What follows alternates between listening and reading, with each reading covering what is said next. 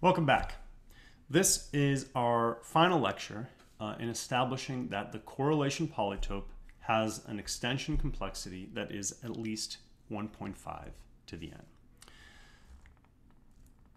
Recall that we have uh, accomplished this by looking at um, by looking at the set d of n,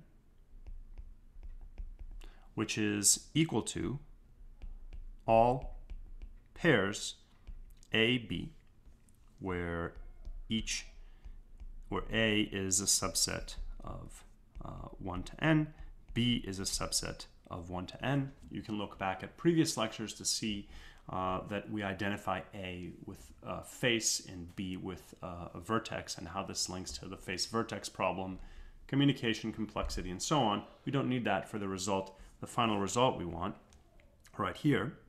Uh, so this is our set, uh, so D of n is the set of all AB such that A and B have empty intersection. And in the previous lecture, we showed that um, extension complexity of the correlation polytope upper bounds the size of a minimum a minimum size covering of d of n by what we defined in the previous lecture as valid uh, by valid sets. So this is what we established in the previous lecture. What we're going to show here is that any covering has to have a, uh, a very big size. And we're going to do this as following. So let's note first, this is, first lemma is actually quite straightforward, that um, the cardinality of d of n is equal to 3, uh, 3 raised to the n.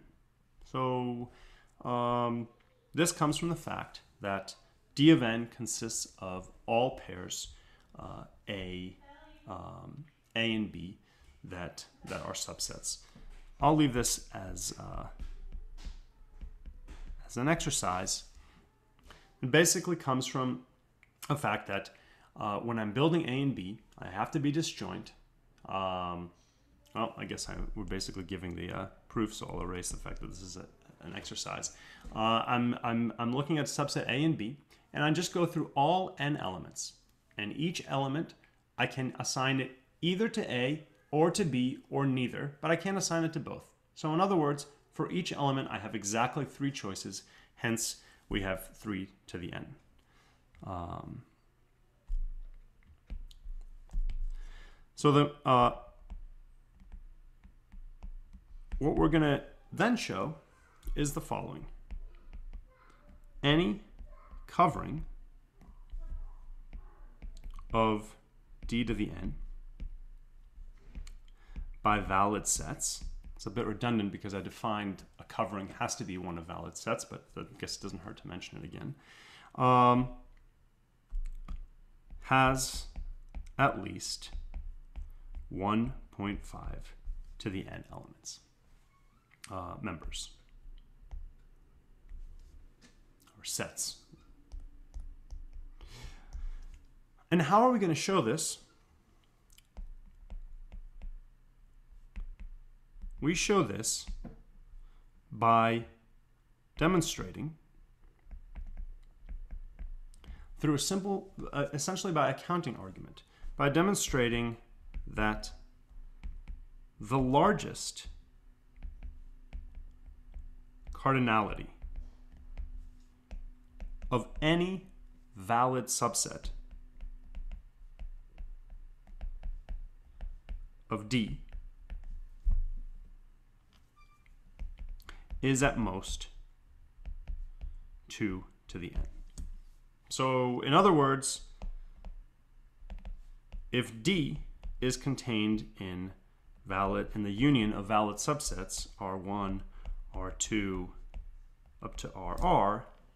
And if, if D of n has 3 to the n elements and each Ri can have at most 2 to the n elements, well then I, I need R to be at least 1.5 to the n. Um,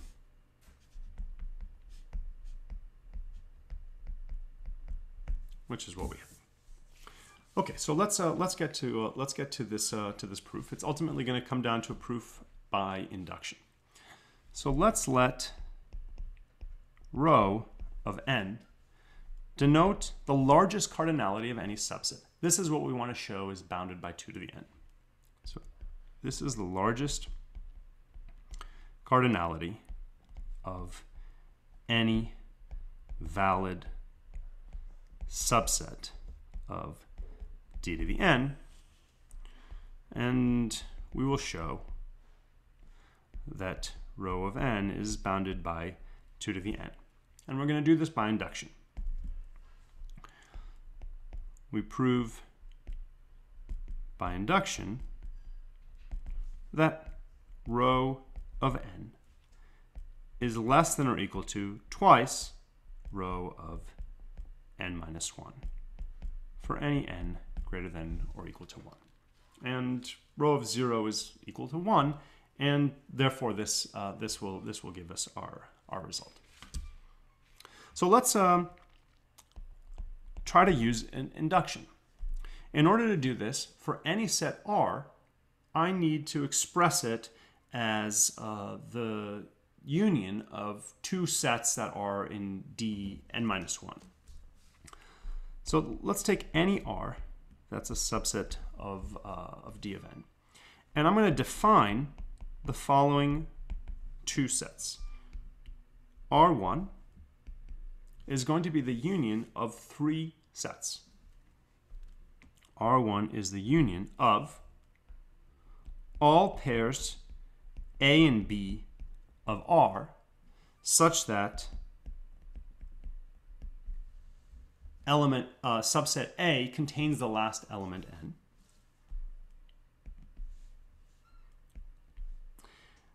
And uh, it's the union of that with all pairs A, B in R such that if I add that last element to A, then this is no longer in R. So what might be such an example? So for example, uh, for instance, if um, we know that if uh, B contains element n, then any pair AB that is in R would be in this in this second set. Because if I were to add n to A, then A and B would now have intersection, uh, which is which is not allowed since any since R is a subset of D of n, the subsets A and B that have that have no intersection. This is a, as an illustration of what of what this what this means. I said it's the union of three sets. I meant it's the union of two sets and the intersection um, of a of the set the following set n cross n minus 1. So this is all subsets.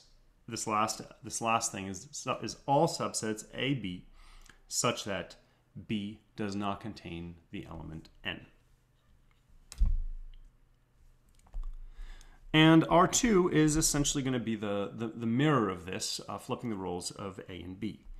So R2 is going to be the union of two sets, all pairs A and B let me write that a little more clearly.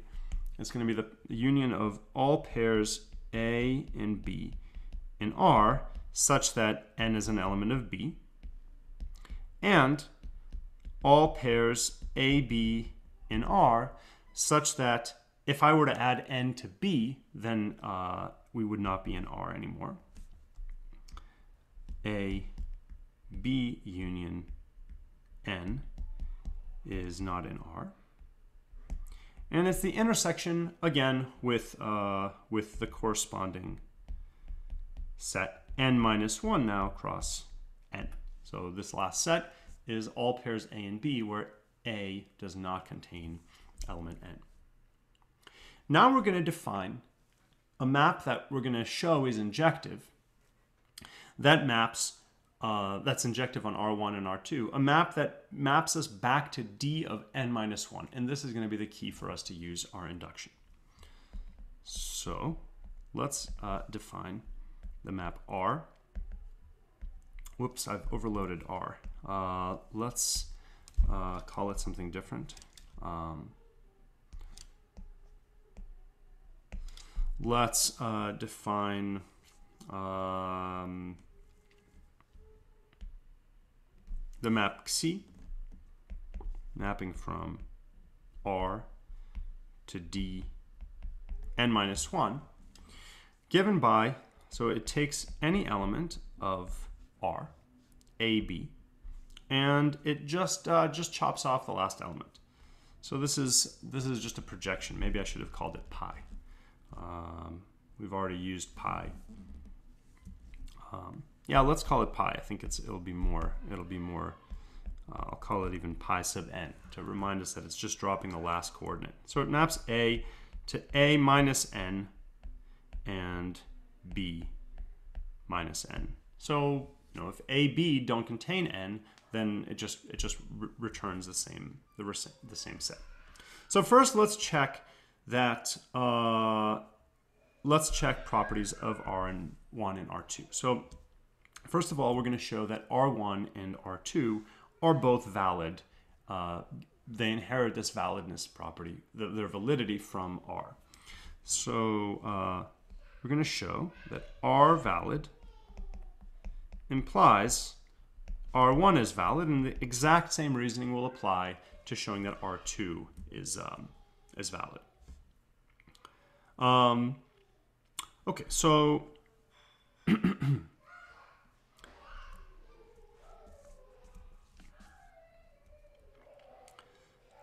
uh, okay, so I, I, actually I'm sorry. This is this is this is this follows immediately. Uh, this follows immediately since R1 is a subset of R. So validity is uh, it, it, clearly it's an inherited property by by subsets. Um, so similarly for R2. But what we want to show is that uh, is that by validity of R1, pi n of R1 is also going to be valid. So th this is this is what requires uh, some attention. So the next claim is the following: that R1 valid implies that pi n of R1 is valid, and similarly for R2. So let's let's see why that is. Uh, let's see why that's the case. So indeed, um, you know, R1 valid. What does that tell us?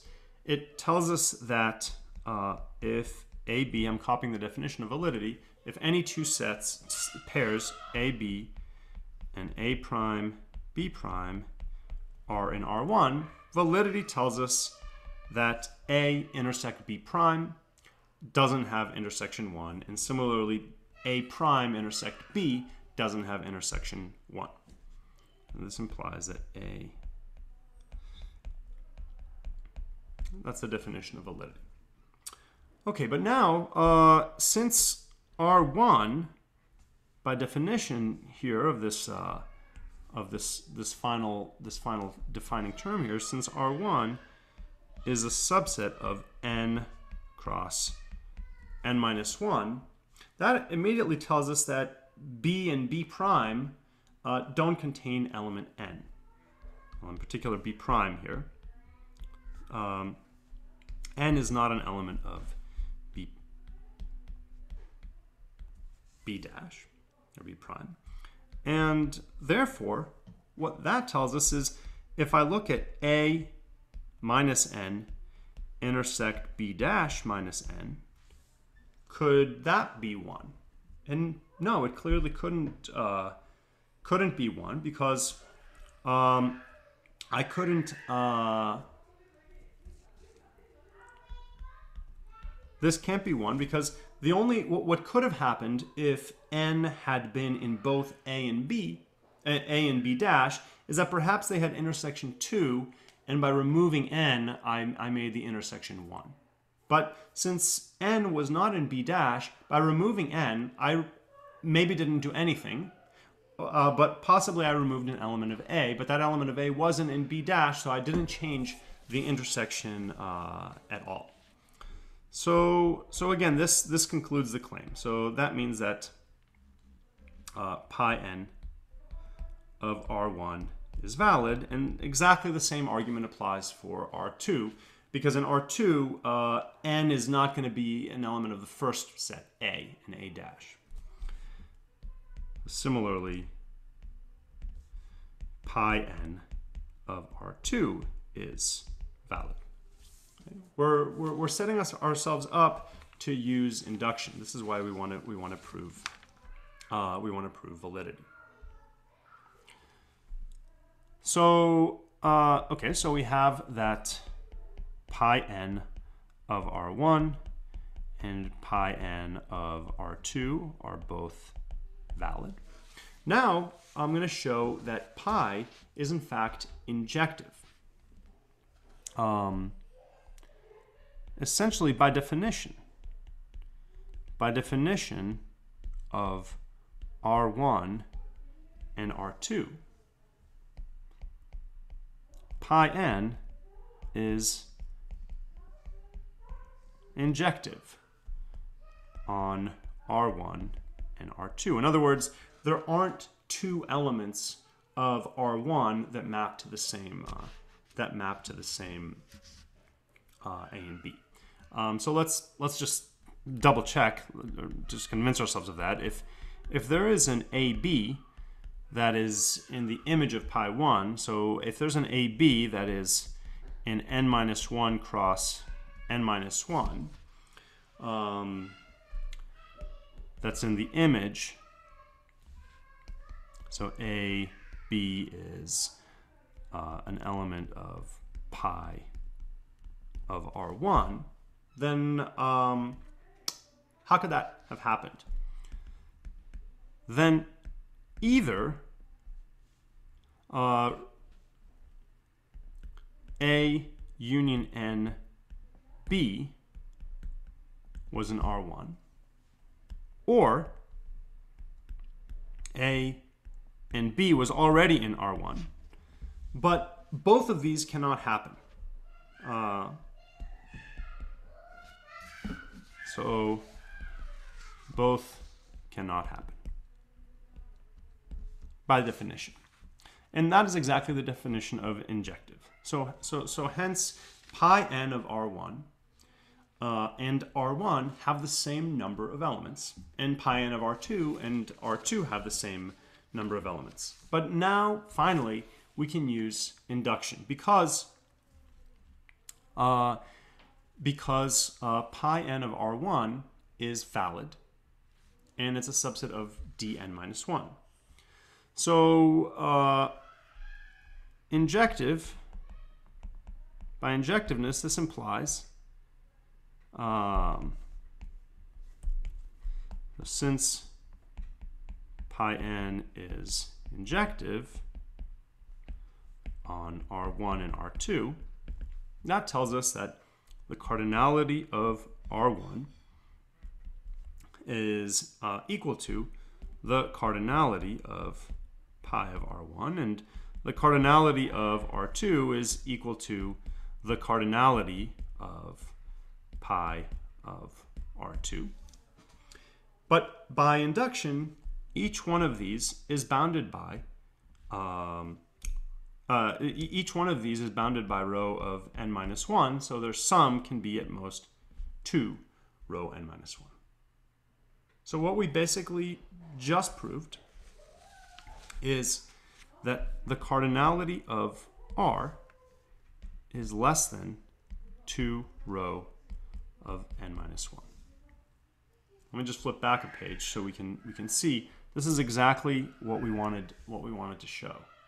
And since r of 0 is equal to 1, this implies that this is less than 2 to the n. Hence, the lemma is proved, which tells us again that um, the largest valid subset of D of n has cardinality at most 2 to the n. And that exactly concludes the lemma. That therefore means that if I want to cover a set of size 3 to the n, I need at least 1.5 to the n of, of these sets. And this concludes the proof that the correlation polytope has extension complexity at least 1.5 to the n.